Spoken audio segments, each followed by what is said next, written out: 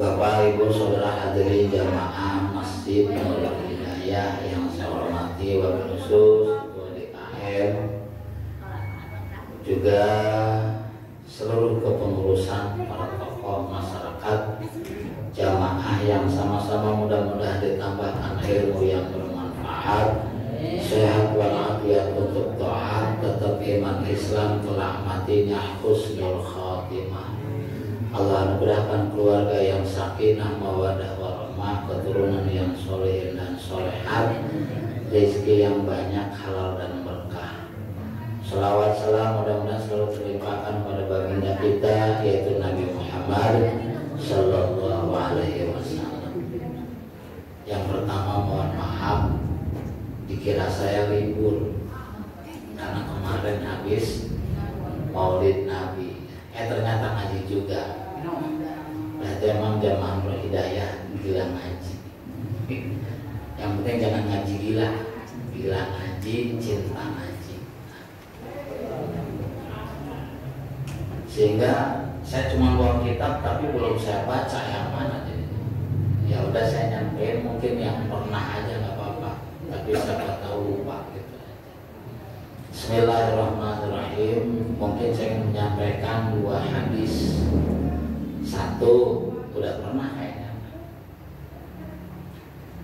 satu arbaatun fil jannah khairum minal jannah ada empat hal di surga itu lebih baik daripada surga. Bu, besok di surga nggak ada yang wajahnya kayak ibu-ibu. Sedih nggak? Nggak, kenapa nggak sedih? Iya. Karena nanti di surga ibu-ibu wajahnya berubah.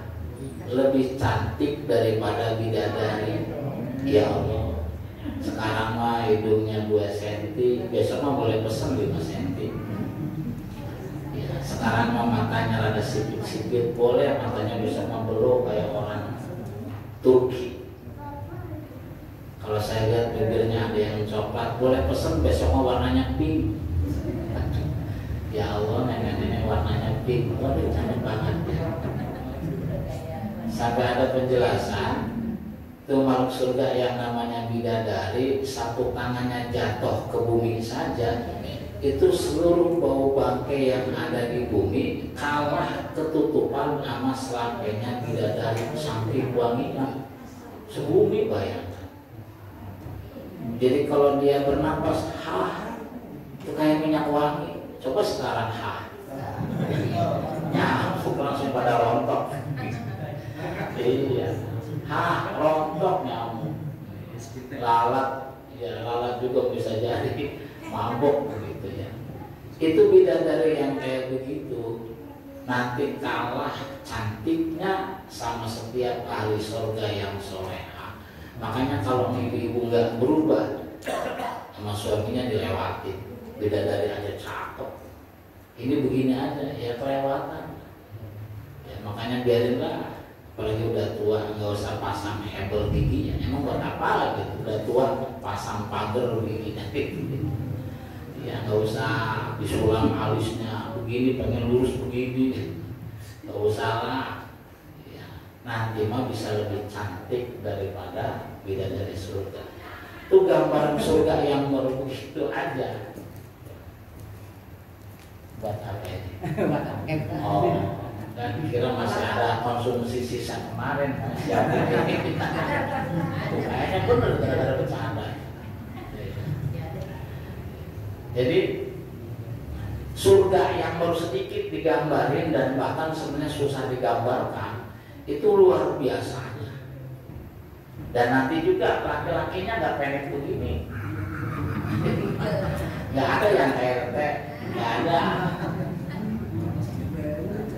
bayangkan ngadepin istri kuat bidadari 70 kuat efek. Nah istri satu aja loh ya apalagi saya teh. Apalagi saya. Makanya nanti mah nggak ada yang kayak begini. Bisa pesen bagang perkasa. Nggak usah pakai minum jamu. Nggak usah pakai minum jamu. Di surga Tapi ternyata luar biasanya surga itu ada lagi yang lebih baik daripada surganya itu sendiri. Apa tuh? Kata Nabi, al khuludu fil jannah khairun minal jannah. Masuk selama-lamanya di surga itu lebih baik daripada surganya itu sendiri. Gak apa-apa, kayaknya saya sering ngomong di sini, tapi biarin kan memang ingatnya begitu. Nanti di surga kata ulama itu ada tiga golongan. Ada orang yang masuk surga, tapi nggak kaya raya banget di surga. Kenapa? Sebab modalnya cuma iman, cuma percaya. Kalau ditanya siapa yang nyiptain kita semua, Allah benar. Siapa yang ngasih rezeki? Allah. Siapa yang maha kuasa? Allah. Cuma kagak sholat. Tapi yakin, yakin. Kagak sholat, kagak puasa Ramadan. Tapi nanti karena percaya kepada Allah dan sempat mengucap la ilaha illallah khalisan mukhlisan ada hak masuk surga. Makanya Nabi pernah bersabda, "Man qala la ilaha illallah khalisan mukhlisan dakhala jannah." Siapa orang yang pernah mengucapin la ilaha illallah dengan ikhlas? Walaupun gak sholat walaupun gak puasa. Dakhala jannah pasti masuk surga. Cuma disiksa dulu 5 juta tahun ya. Iya dosa nggak sholat disiksa. Dosa nggak puasa disiksa dosa nyakitin istri disiksa doa tukang ngambilin duit suami disiksa iya bapaknya gitu ya udah habis disiksa habis tuh baru dicemplungkan ke dalam surga yang aneh ada orang sufi berpendapat neraka itu adalah bagian dari rahmat Allah. Bingung nggak tuh? Neraka bukan surga. Neraka itu masih disebut bagian dari rahmat Allah. Sebab apa? Nanti menyebabkan kita penyebab kita masuk neraka. Mudah-mudahan sebentar aja ya. Mudah-mudahan masuk nerakanya sebentar ya. Itu nanti merasakan nikmat di surganya berlipat-lipat ganda Bapak-bapak kalau jarang puasa itu yang namanya minum sirup marjan jam 6 maghrib biasa aja. Yang namanya minum es kelapa muda kayaknya biasa aja. Cuma gara-gara puasa. Duhur ditahan-tahan padahal udah kering, bibirnya udah keterkarat gitu, retak-retak ditahan gitu. Eh begitu pas buka puasa, itu nikmatnya minum es kelapa muda, sirup marjan berlipat-lipat. Sehingga neraka nanti mudah-mudahan masuknya sebentar aja sebelum sehingga juga udah ngerasain pahit di bumi gitu ya. ya itu juga karena bagian dari rahmat Allah agar ketika nanti masuk surga merasakan berlipat-lipat ganda nikmatnya surga. Bismillahirrahmanirrahim ada orang masuk surga tapi nggak terlalu ngerasain nikmat kayanya di surga itu mah gara-gara cuma punya sama nih di exchange ya. Namanya masuk ke exchange boleh adem banget. Kalau kemarin tuh musim kemarau ya cuman ada dua bawa roti enak amat cuman nggak bawa ATM nggak punya ATM nggak punya duit. Bisa beli nggak? Ya. Allah mungkin kasih sayang dari saudara. Iya itu baju cakep banget. Tapi nggak punya tem nggak punya duit. Tapi masuk mah bisa jadi nggak kaya raya masuk surga iya kenapa dulu ketika masih hidup di dunia pernah mengucapin la ilaha illallah khalisan mukhlisan dakhala jannah jadi nanti orang aliran kepercayaan yang percaya sama Tuhan ada hak masuk surga. Walaupun tadi disiksa dulu setelah dosanya habis. Ada lagi orang yang masuk surga dan merasakan betapa nikmat kaya rayanya di surga. Itu siapa? yang tidak cuma modalnya iman tapi modalnya juga Islam yaitu beribadah dan beramal soleh maka Islam itu lebih cenderung kepada itu amal ibadah jadi kalau ada orang Islam nggak ibadah sholat wajar kalau disebut Islam emang dia kapan sholatnya tuh wajar kalau disebut nggak Islam emang dia malam-malam nggak puasa. Maka itu amal ibadah amal soleh termasuk ngaji ini termasuk sodako silaturahim dan lain sebagainya itu nanti menjadi penyebab kaya raya di surga. Contoh yang ringan saja. Ada satu hadis pada ibadah. Siapa orang yang baca subhanallah walhamdulillah wala ilaha illallah wallahu akbar bana dia bangun gedung di surga. Kita baca tasbih itu nanti bangun gedung di surga, jadi kaya raya di surga.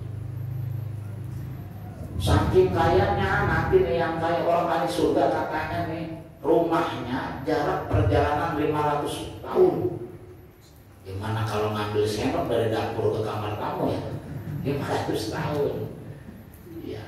Nah kita makanya masuk akal dulu aja nih kita pesan makanan tahu mau datang kayak nggak masuk akal sekarang cuma pakai HP pesan tojol ya datang iya nggak usah pengen nasi nggak usah nambah dulu langsung pencet aja HP tahu-tahu datang ayamnya nggak usah motong dulu udah dulu orang Arab sama di sana nggak tunggu jengkol nggak tumbuh benteng, nggak tumbuh terong. Tapi orang Arab mau makan terong, perdeng, kembung, padahal maunya jauh ada. Kayak nggak masuk akal. Sekarang di sini aja apa saja pakai HP datang. Jin saja sekedar dari sini langsung bisa jauh timur. Nanti pelayan-pelayannya adalah para malaikat-malaikatnya Allah. Walaupun rumahnya luasnya kayak apa, apa yang diinginkan cepat bisa. Nabi Khidir alaihissalam keliling laut sedunia cukup setengah jam. Ini belum surga belum. Keliling dunia, keliling laut sedunia setengah jam bisa mengelilingi laut sedunia. Ini masih kehidupan dunia. Di surga luar biasa. Ada lagi orang yang masuk surga betapa kayanya merasakan nikmatnya surga dan selama-lamanya di surga.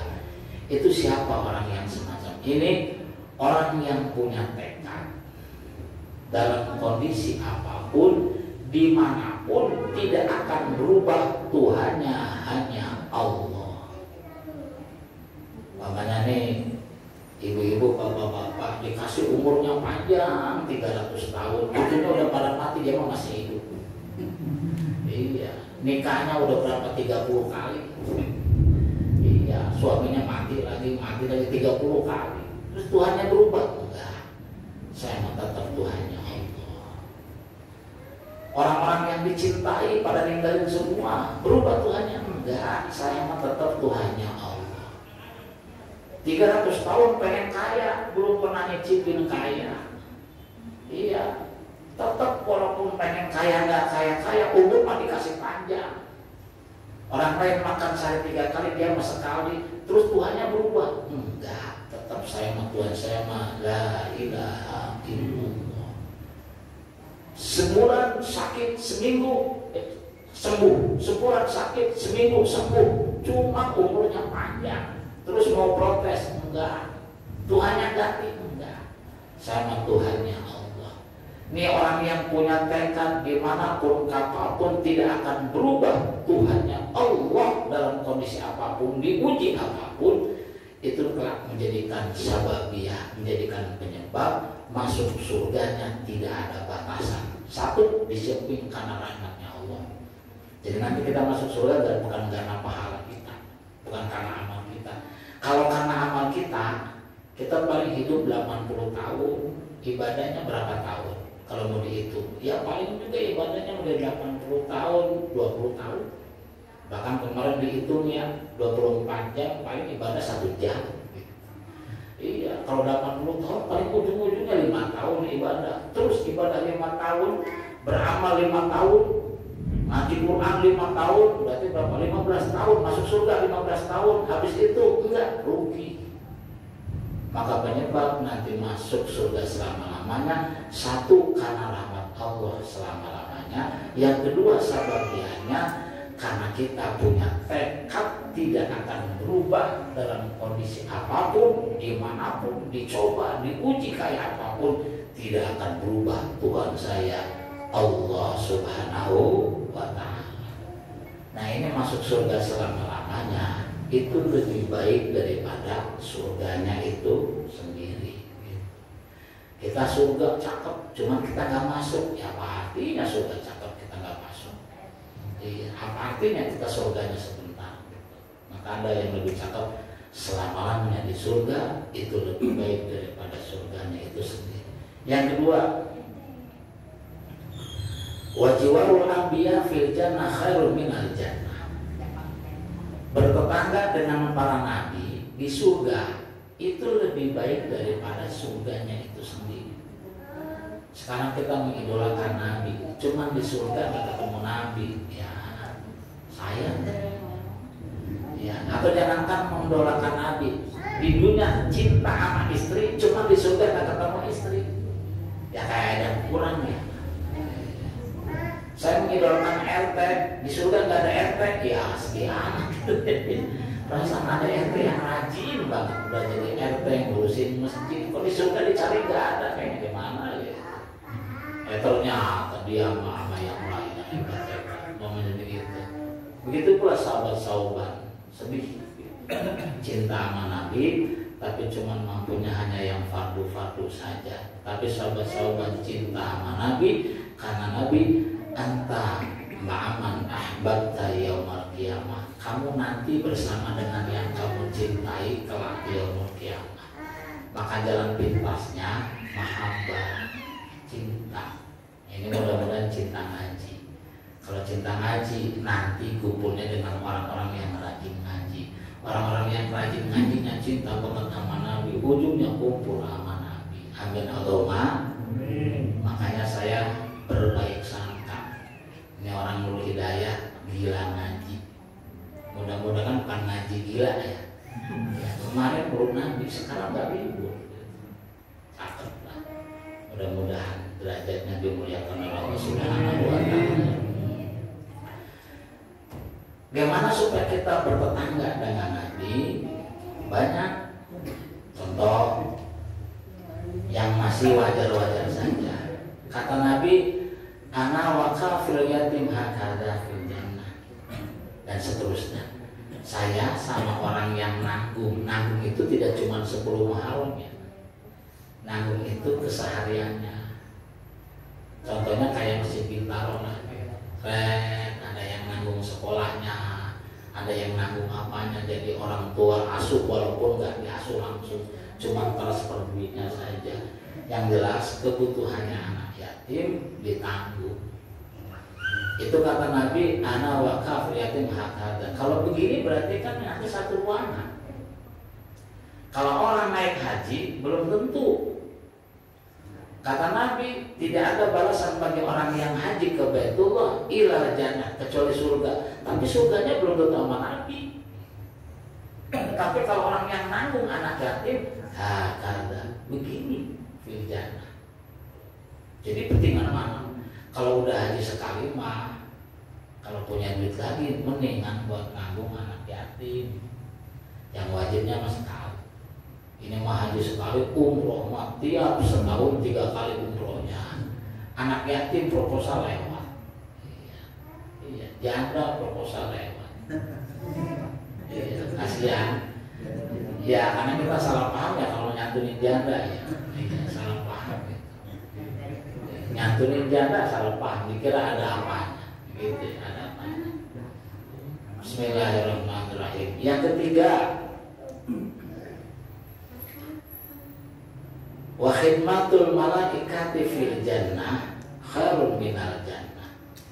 Khidmahnya malaikat jadi pelayannya malaikat di surga itu lebih baik surganya Coba sekarang bayangkan saja nih, ini orang kita makan hidungnya pesek-pesek ya.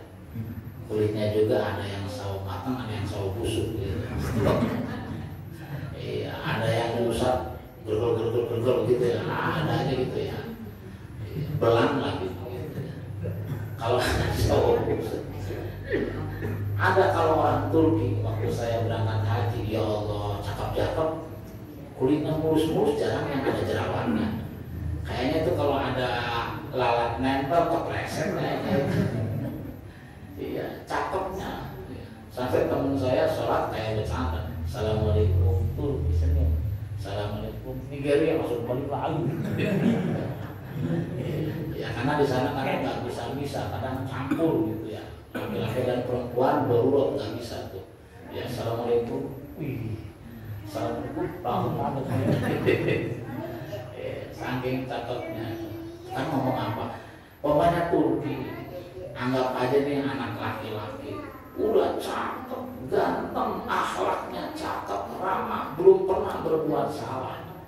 Terus kita diladenin anak kayak begitu senang banget. Ya Allah ini anak udah ganteng cakep bersih akhlaknya bagus nyenangin senyum. Itu baru manusia.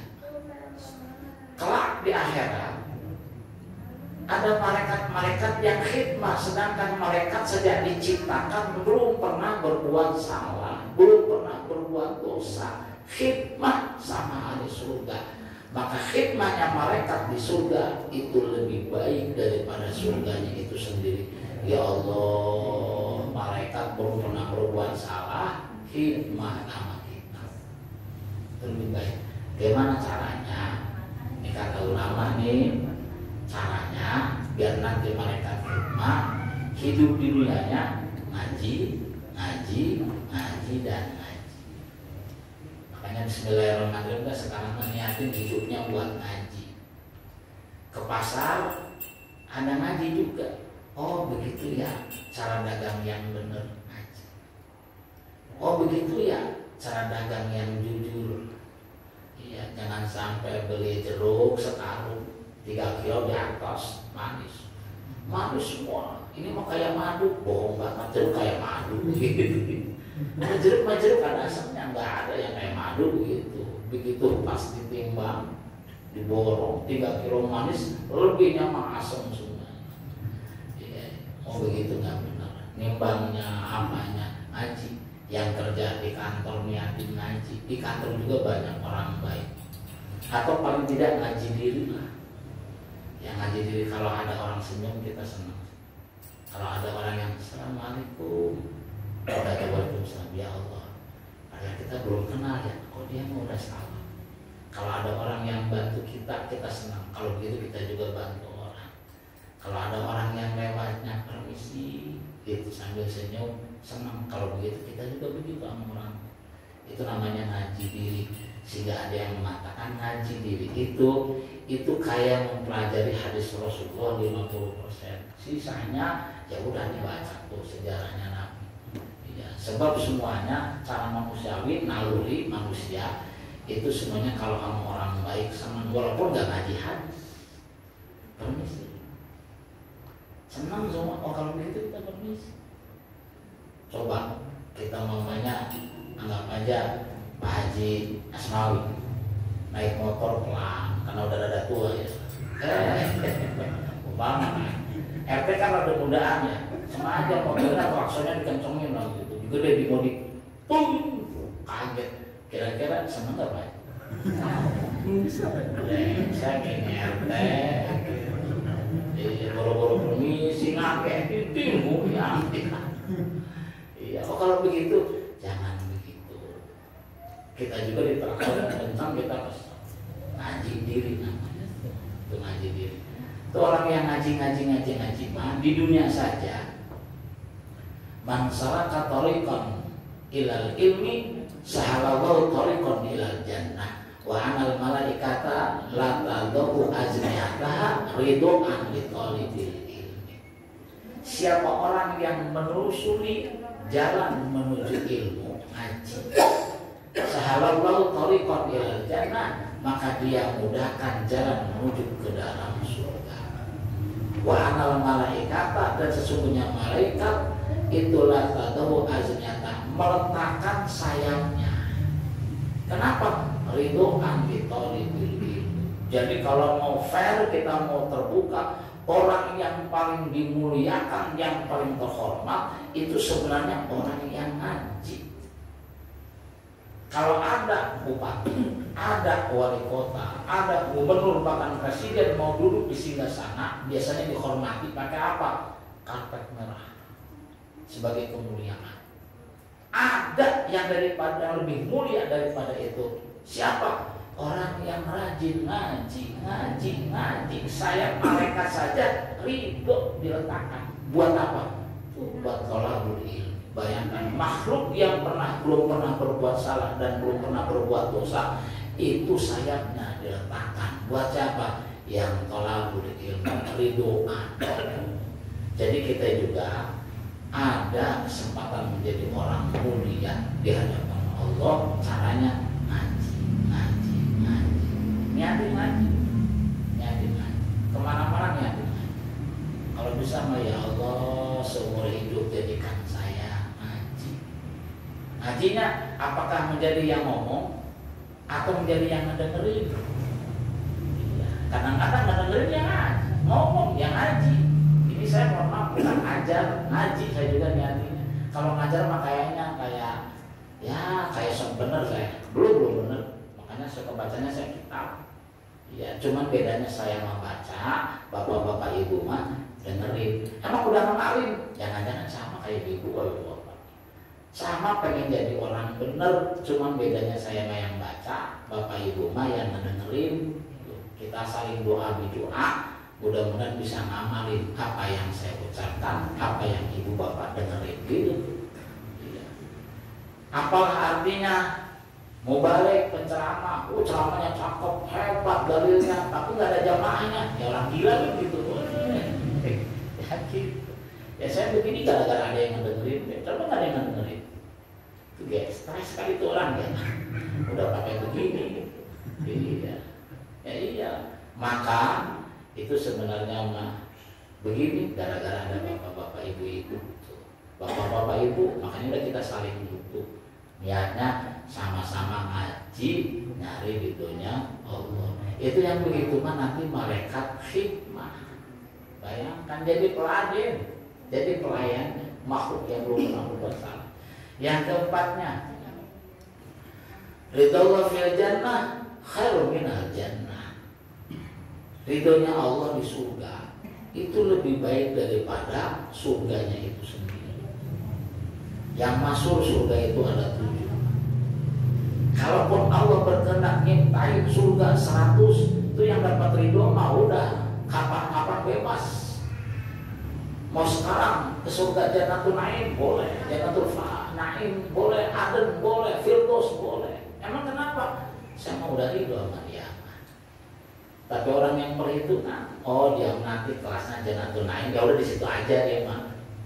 Ya, dia itu sholatnya perhitungan, ibadahnya perhitungan, pengen masuk surga. Ini mau dapat perhitungan lagi.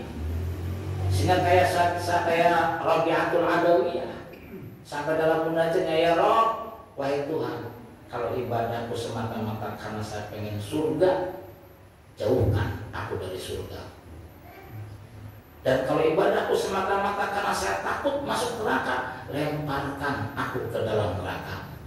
Tapi aku Tuhan, ibadahku semata-mata karena cinta kepada Dan kalau udah cinta mah, ya Allah lebih cinta lagi. Masa Allah cinta dia masukin ke neraka? Masukin neraka juga nerakanya adem. Ridho itu. Jadi bagaimana kita supaya dapat ridhonya Allah? maka kita bismillah hidupinnya ini segala sesuatunya harus terima ridho dengan dengan apa yang telah Allah bagi buat kita. Pokoknya gimana? Ya Allah, tangan saya sama kayak akar pohon, oh, keradak, kerja keras mulu. Perasaan dulu waktu saya muda kuning langsat, sekarang hitam teling. gitu kan Dulu mau wajah saya kayak artis, kenapa sekarang mau kayak tukul? Padahal dari dulu gitu ya. Artis juga tukul gitu ya. ya. Iya, momennya gitu kan. Tidak usah protes. yang penting kau asalkan ridho ya Allah kau telah memberikan nikmat mata, nikmat nafas, nikmat mulut, nikmat bisa bergerak, nikmat yang lain-lainnya. Saya banyak kekurangannya, banyak kesalahannya, banyak kekeliruannya. Saya minta diampuni, syukur, ridho. Karena saya juga belajar ridho kalau Allah ngasih rezeki yang sedikit, saya pengen berusaha ridho. Bukan cuma kona, kalau kona cuma lima. Kalau ridho mah sebab dia yakin ada akhirat. Iya, dikasih rezeki dikit yang mau berarti di akhirat lebih dimuliakan bahasa kasarnya gini kan kita kerja kerasnya kan kayak semalam ya orang kalau kerjanya dikit minta honornya gede itu orang stres apa orang marah tuh ya artinya gitu ya. Yang orang kerjanya cuma satu jam honor mau pengennya gede gitu dan lain sebagainya. Itu begitu tuh iya. Jadi banyak dikit tapi yang penting dan kita ngaku ngaku. Yang penting minta ridhonya ya Allah ridhonya. Saya mau dijadiin apa juga? Itu kenapa? Sebab ada orang rajin dikasih rezekinya dikit. Bisa itu kenapa? Saking yakinnya dengan akhirat. Kalau nggak yakin dengan akhirat mah protes ah percuma saya ngaji sholat rezekinya susah seret eh begitu nggak ngaji tuh kan. Ada tamu datang bawa amplop partai dan lain sebagainya. Ini gara-gara ngaji rezekinya lari begitu. Nah, itu mah ya ini dan pokoknya mah kita hidup jalan saja. Minimal sabar syukur kona'ah syukur lagi sampai ridho ya Allah. Karena ada kehidupan yang akhirat sebagaimana ridhonya Nabi Isa sebagaimana ridhonya Nabi Muhammad. Nabi Isa kalau pengen kaya gampang bisa menghidupkan orang mati. Coba kalau ada orang sekarang bisa menghidupkan orang mati pengen kaya gampang orang yang terkaya di Indonesia anaknya datangin. Mau nggak bapaknya saya hidupin lagi? Dalam keadaan sehat walafiat. Mau. Dia punya duit 100 triliun. Tapi satu triliun buat saya mau. Hidupin satu orang aja satu triliun. Udah seumur hidup gak usah kerja begitu ya kaya raya. Tapi Nabi Isa tidak, Nabi Muhammad Shallallahu Alaihi Wasallam tidak. Saking yakinnya dengan akhirat ada yang lebih baik daripada dunia. Nah kita paling tidak lah kalau mungkin mau susah, ya paling tidak sabar, syukur paling tidak kona'ah, terima apa yang telah diberikan. Kalau ridho mah suruh kolbi bahagianya hati. Dicoba, girang, kalau kita mau dicoba ya Allah salah apa saya? Iya perasaan saya doa robbana atina fi dunya hasanah, kenapa anak saya keserempet motor? Iya. Kita kenapa difitnah orang? Emang salah apa ya Allah? Seolah-olah kayak benar. Kayak benar. Ya padahal kan memang sengaja diuji sama Allah Subhanahu wa taala. Dibikinin masih enggak, begini masih enggak. Nabi ayo begitu tetap aja ibadah. Sampai itu enggak percaya dan lain sebagainya.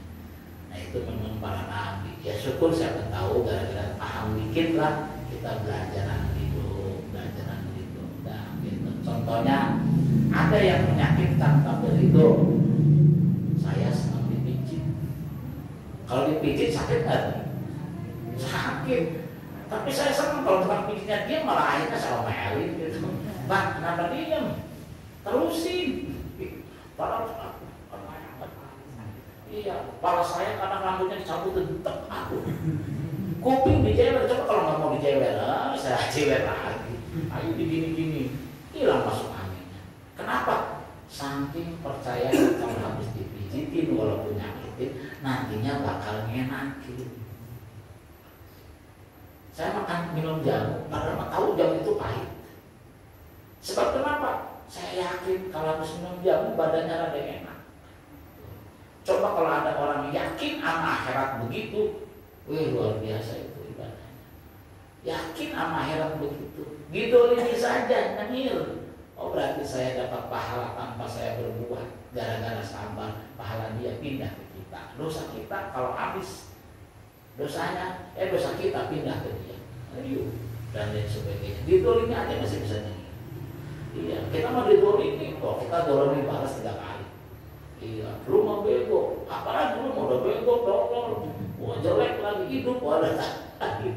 Ya, gitu langsung balasannya itu mah belum terlalu percaya sama akhirat yang percaya sama akhirat mah apa-apa motivasinya ada ujian ada cobaan berarti mau naik kelas. Didolimi saja berarti saya dapat pahala yang tidak saya kerjakan. Kita istighfarnya belum tentu langsung tokcer eh gara-gara sabar. Dosa kita pindah ke mereka. Jadinya misalnya didolimi masih bisa nangis nah itu kalau udah ridho ridho maka Allah juga ridho. Radhiyallahu anhu wa dalam hadis kursi Allah nanya sama ahli surga wahai ahli surga kalian senang tidak di akhirat? Senang ya Allah. Kamu mau juga? Kalian mau tidak sesuatu yang lebih baik daripada surga? Mau ya Allah. Apa itu? Ridhoku di dalam surga itu lebih baik daripada surga itu sendiri. Ridhonya Allah di dalam surga itu lebih baik daripada Omanya orang kampung rawa ada yang jadi kaya raya. Saya mau senangnya RT. RT rumahnya lantai 15. Amin. Cuma aminnya beneran ini ya. Rumahnya juga nyampe nyampe bercanda. Lantai 15. Tiap lantai ada kolam renangnya. Tiap lantai ada tempat catering makannya. Dapurnya udah lantai pertamanya seribu meter terus deh dan sebagainya. Wah dan lain sebagainya. Ya kita boleh masuk. Cuman yang punyanya RT cemberut kita kira-kira. Iya, kita masuk mau masuk. Boleh naik lantai pertama kedua cuman yang punya cemberut. Ya ini kalau bukan toham gitu ya. Kita juga kayaknya kalau luasa itu di dalam tempat yang mewah ini tapi kalau ada orang udah boleh masuk yang punyanya senang banget ya Allah. Ya, saya mah senang. Udah mau kapan pun siapa mau kapan pun terus itu tuh lebih baik daripada surganya itu sendiri. Ridhonya Allah lebih baik daripada surganya itu sendiri. Sampai jam berapa sih biasanya? Nah, jam udah ada. Oh, berapa? 9 menit. Nah, kalau 9 menit masih Nah cuman kemarin sekaligus ya kan kemarin itu kita itu kan semalam ya ibadah cuma satu jam padahal mas ada semalam 24 jam. Tapi ada jalan pintas. Nah, ini jalan pintasnya. Kita ibadahnya cuma satu jam. Ngajinya cuma seminggu berapa kali? Dua. Dua kali. Itu berapa kali ya cuma seminggu dua kali berapa kali ada jalan pintas. Kata Al Imam Junaid arbaun tarfaul abda ila aqlad darajat wa in qala ilmu wa ada empat hal itu bisa naikin derajat setinggi tingginya derajat hamba walaupun ilmu dan amalnya dikit. Itu amalnya tuh ibarat sholat aja paling hebat satu jam. Ngaji seminggu dua kali. Iya pengen sholatnya luar biasa tapi ternyata ada konsep itu bisa naikin derajat setinggi tingginya derajat seorang hamba walaupun ilmu dan amalnya sedikit. Apa itu? Empat hal itu. Yang pertama kalau punya hilmun kalau punya sifat hilmu makanya mohon maaf saya pernah cerita. Iya ada orang yang kerjanya tidak guru. Tapi ternyata makomnya sederajat dengan siapa dengan Abi Yazid al-Bustami seorang wali kutub alim ala-alama ulama besar ngaji mulu. Akhirnya saking merasa dekatnya mungkin pede dia munajat yang Allah. Ya Allah nanti orang yang sederajat saya di surga siapa? Ini tunjukin orang tukang tidur. Anggap aja kayak lagunya Bang Sulit ya Mbak Sulit ya bangun tidur. Tidur lagi. Bangun tidur lagi. Cuman gara-gara punya sifat hilmun. Hilmun itu apa? Sangat-sangat menyabar. Kalau sabar mah sebenarnya mah kita nggak pengen. Cuma ngempet cuma nahan nggak nyalahin Allah.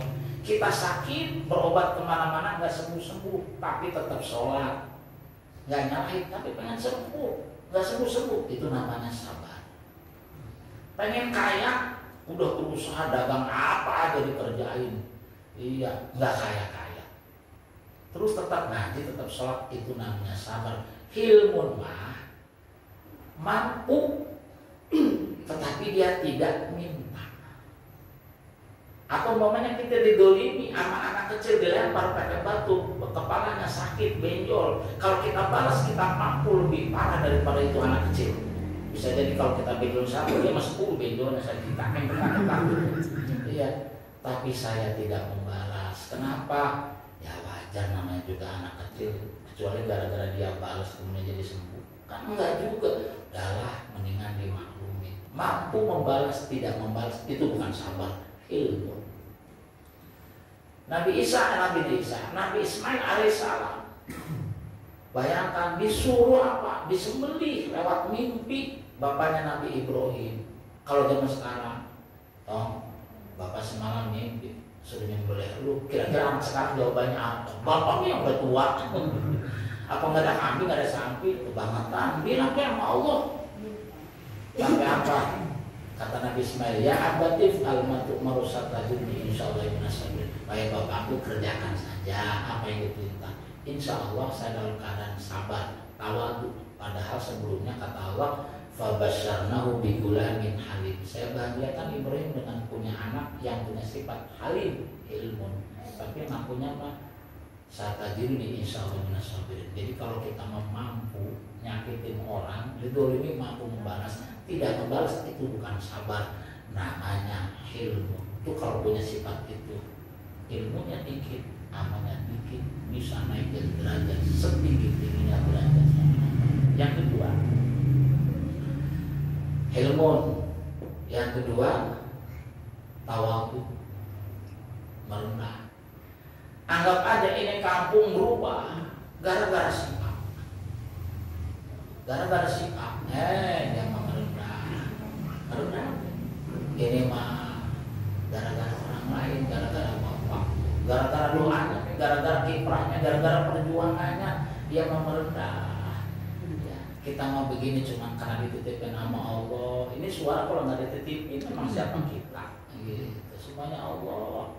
Allah balikin alhamdulillah awal Nabi Muhammad dipilih jadi Sayyidul Anbiya, Sayyidul Mursalin, Sayyidul Akhtiar, Sayyidul seluruh waladah dan hatta yang kiamat yang terakhir karena tawaduknya ulul azmi karena sabarnya sampai yang paling sabar dipilih lagi jadi pimpinan seluruh para nabi bahkan Sayyidul Wadil Adam hatta yang kiamat itu gara-gara merendah.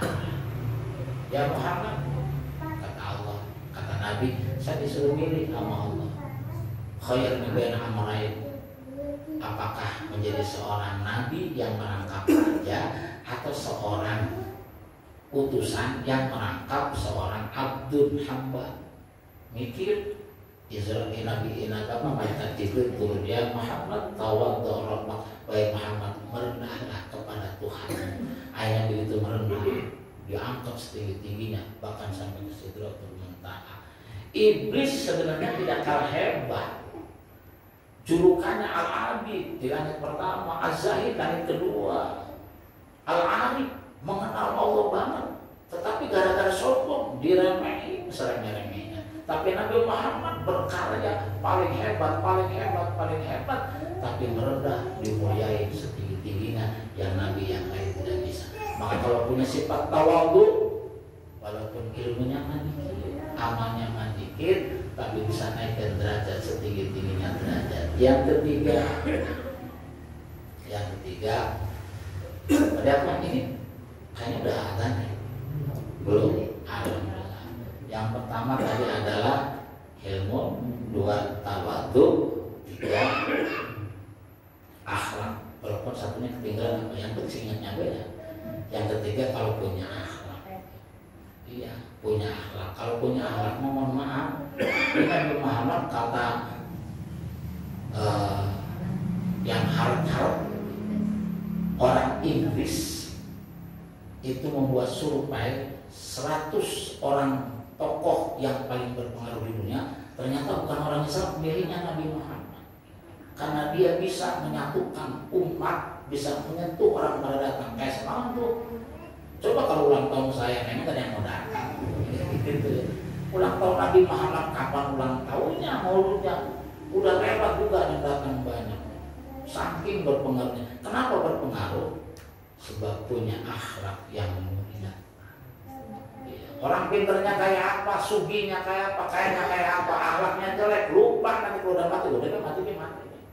Tapi kalau akhlaknya bagus, dia luar biasa. Contoh, ini mohon maaf ya, terakhir dari terakhir, maaf. Kalau ada orang agamanya Islam gitu ya, cuma kerjaannya sandal hilang dia, hanya hilang dia juga. Kami korban apalagi satu mobil diborong sama dia hilang. Motor hilang dia juga. Kadang agamanya Islam. Tapi ada orang yang tidak beragama gitu. Jangan agama yang sebut tidak beragama. Cuman kerjaannya itu sama orang lain sopan. Permisi. Kalau punya makanan dibagi. Kalau ada orang butuh ditolong. Ya, terus alatnya bagus. Itu kira-kira kita milih tetangga yang mana tuh? yang agamanya Islam itu tukang nyolongan harta kita habis gara-gara dia dicolongin mulu atau orang nggak beragama tapi dia tukang bantu tukang nolong. Secara manusiawi punya tetangga dia nggak membahayain. Urusan di akhirat itu urusannya dia. Apalagi kalau udah agamanya Islam akhlaknya bagus. Itu Nabi Muhammad akhlaknya bagus. Dikenal bahkan namanya diangkat warfa'na laka dzikrok diangkat sebutannya. Sampai-sampai orang sholat kalau nggak nyebut nama Nabi Muhammad nggak sah. Orang sholat nggak nyebut nama Nabi Muhammad nggak sah. Contohnya di tahiyat akhir. Assalamualaikum ayuhan Nabi warahmatullahi wabarakatuh. Nggak baca itu nggak sah sholat. Tapi coba ketika sedang sholat eh Pak RT batal Iya, orang lain pada sebut batal. Eh, hak batal. Iya, nyebut nama kita batal.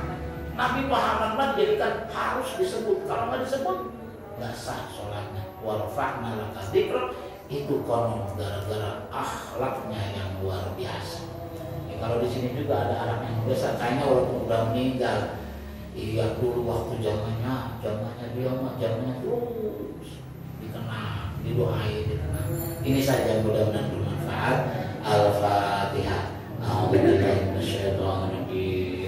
Bismillahirrahmanirrahim.